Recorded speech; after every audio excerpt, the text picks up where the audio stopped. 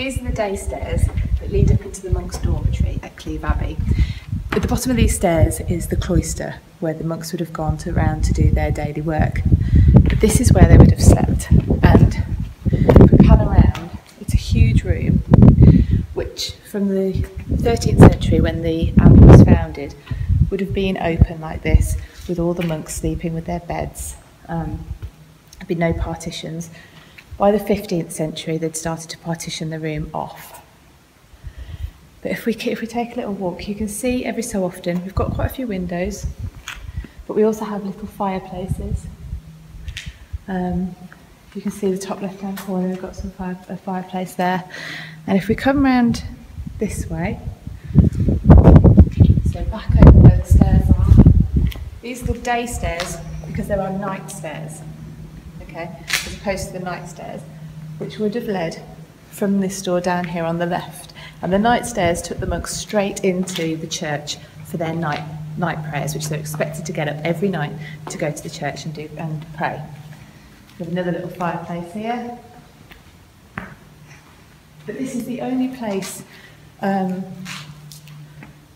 because because it's been preserved because we have a roof on it because we have a floor we can we can um, stand on safely. This is the only place you can really come and visualise what it would have been like in a 13th century monk's dormitory.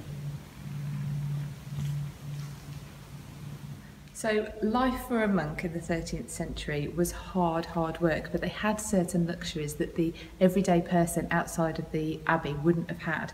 And one of those luxuries was flushing toilets. So we're in the dormitory where the monks would have slept. And this door here would have led to the latrine block, so basically a toilet block. And they would have had running water, um, so they could have gone, it's an ensuite, isn't it? It's a 13th century ensuite, dormitory maybe, but they had their own flushing toilets. Um, so water was uh, was diverted from the River Washford nearby and would have would have washed the sewage away. So some of the monks took to decorating their part of the dormitory, so it wouldn't have all looked the same. And um, where we have the window, window seats were created and tiles were put down, which look very similar. You might recognise some of them from the refectory. Um, I'm not sure how they whether they got the tiles because they were extras and left over, or whether they'd have made them themselves. But they obviously took pride in their part of the dormitory and wanted it to be a little bit more personal.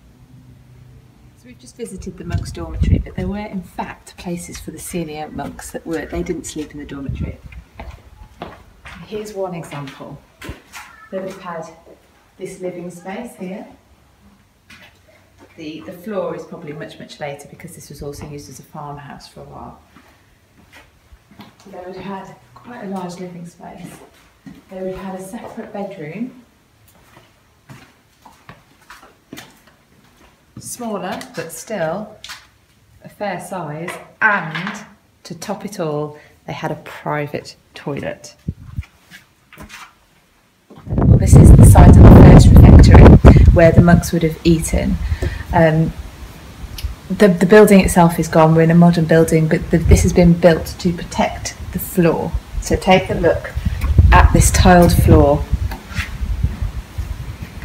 Really amazingly preserved full of heraldry.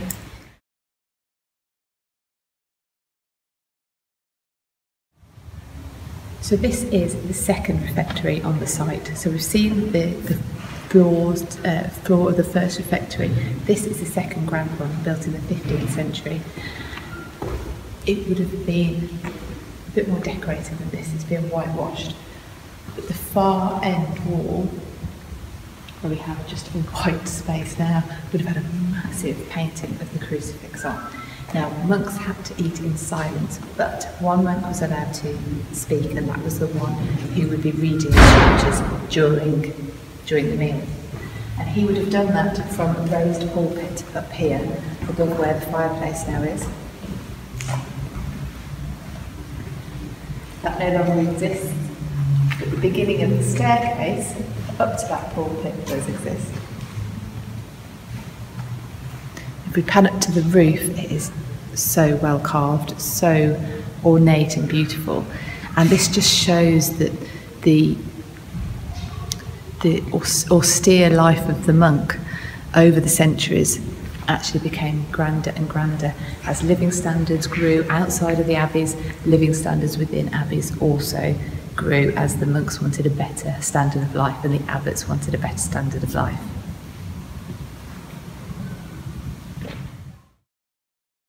Halfway up, we see the stone carved panel with the name Dovell in there. That was the abbot who reconstructed this gatehouse in the 16th century. And if we pan up, we can see the carving of Christ. The figures that normally would have been alongside Christ, Mary, uh, Virgin Mary and St. Uh, St. John are missing, but Christ is still there. And it's fairly unusual to still have um, the figures there, but it could just be because they were so high up off the ground. They weren't destroyed during the Reformation. But let's take a little walk through the gatehouse because it's a building in itself. It's not just um, for the gate. And we can see evidence of there being two floors here.